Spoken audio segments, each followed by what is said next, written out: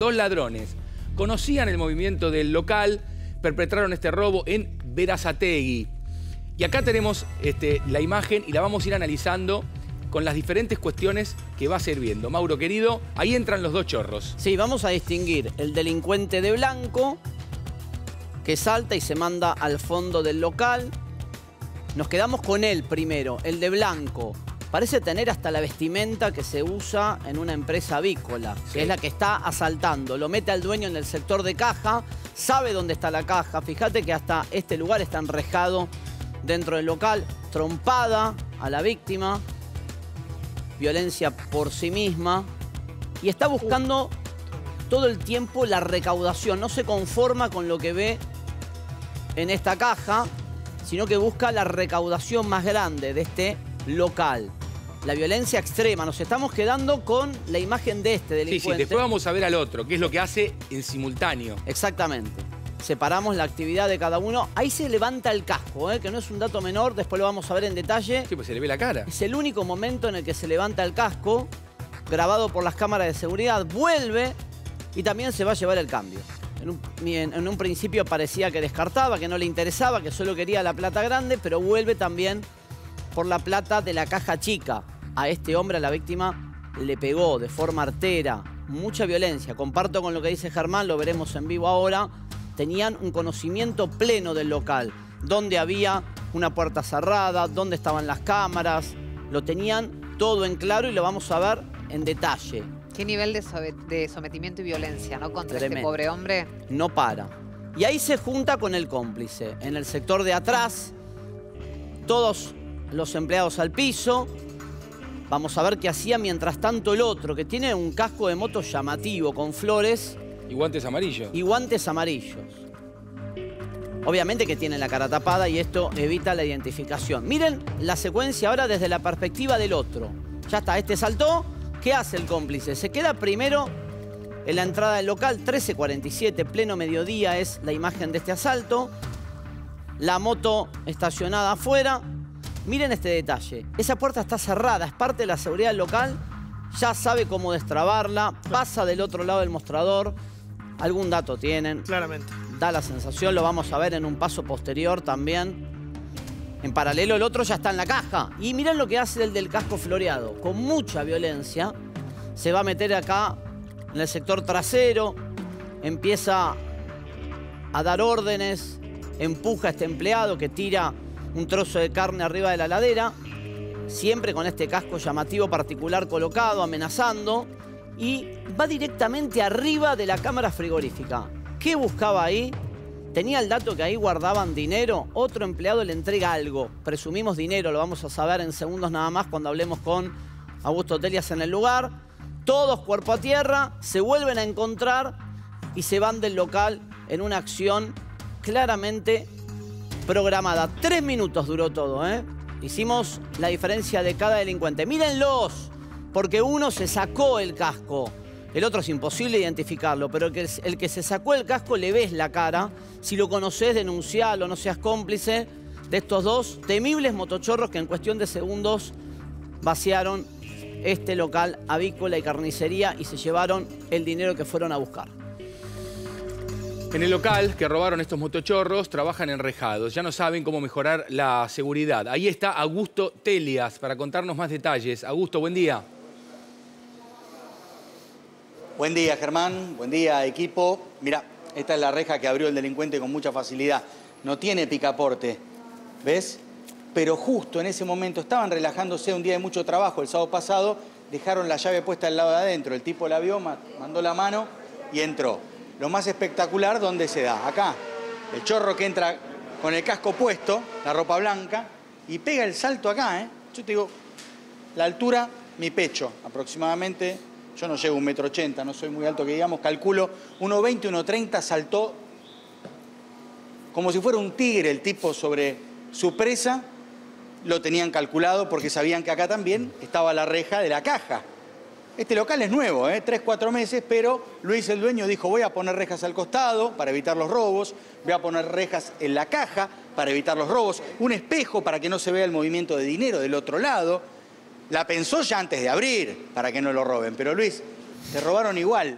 Y lo que nos llama la atención es la agilidad de este tipo, cómo salta, eh, cómo salta por acá. Cualquiera que estemos de nosotros, este, un muchacho joven no lo puede hacer, no sé, ya o es una costumbre o qué, pero este, me sorprendió a mí también porque estaba yo pasando la cortina ahí, que estaba medio metro de la cortina, yo cuando quise acordar ya no, no me dio más tiempo a nada.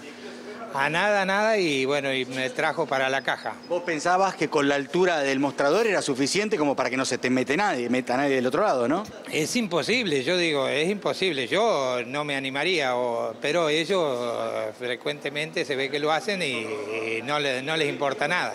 Eh, Contame cómo fue como te encaró el ladrón, que vos estabas acá atrás de la caja, detrás de esta reja. No, yo estaba acá eh, a dos metros de la Ah, caja. y te trae para acá. Y me trae para ahí, porque era un momento recreativo que estábamos todo, eh, se había calmado un poquito más, se había calmado un poco en la mañana, porque justo era el día de la primavera, que, que era el día que uno espera para vender un poquito más, porque la situación está muy crítica.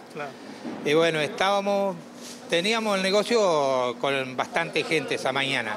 Y ese día paramos un ratito, justo se cortó la gente y paramos este, para... ¿Y qué te Para- dijo cuando te encaró el ladrón? No, eh, él no, eh, dame la plata, me dice. Dame la plata, dame la plata, dame la plata. Vemos Y- que te pegó también. Sí, sí, sí, me pegó, me pegó porque no tenía más plata yo. Porque mi hijo en ese momento estaba preparando ya para pagarle a un proveedor. Y tenía la plata de él encima, que ustedes lo pueden ver, eh, que, que lo traen de allá atrás mi hijo, el, el de ropa de color es mi hijo. Claro, a vos te pegan un culatazo y una piña acá. Sí, Te porque... vacía la caja el tipo. Porque no, no tenía plata y mi hijo corre y les trae, les trae una cierta cantidad de plata para que decir, bueno, eh, que no, le- no le hagas nada a mi viejo porque yo tengo la plata. Y Claro, le- esto es lo que pasa acá atrás, en el depósito. Lo agarran a tu hijo y a todos los empleados los tiran al piso. Sí, sí, sí, sí, todo, todo estaban en el piso, todo estaba en el piso. Y bueno, y cuando quisimos acordar, este, ya no, no teníamos. Y fue, duró tres minutos más o menos, duró y, y se llevaron lo que pudieron, le- justo lo agarraron al repartidor, le llevaron la mochila.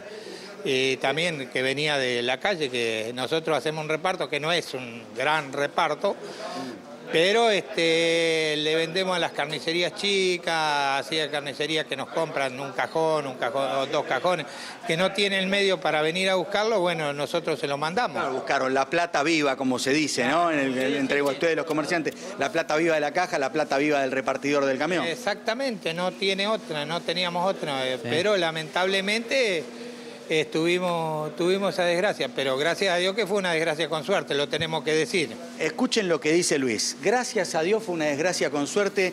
Y yo les voy a contar una anécdota porque detrás de todo hecho de inseguridad hay personas, historias de vida.